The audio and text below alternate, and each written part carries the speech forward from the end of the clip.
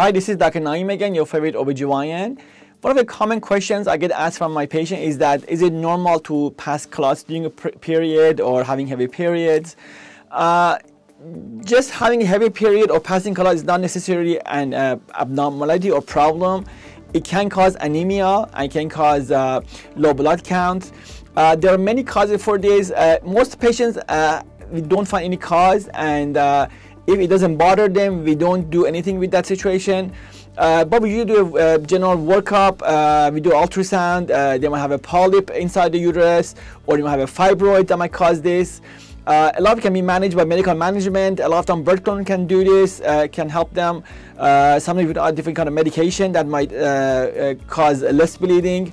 Uh, if somebody uh, has this problem uh, that affects their lifestyle generally, we might do a hysteroscopy and put a camera inside the uterus and we look what's going on as far as any polyp or any anomaly. An older patient, we have to do a biopsy to make sure there is no anomalies as far as abnormal cells or anything.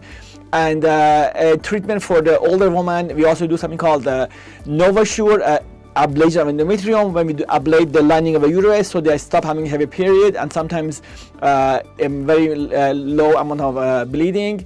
Uh, there are other options also available like even hormonal IUD can help them or any kind of uh, birth whose hormonal can usually help them.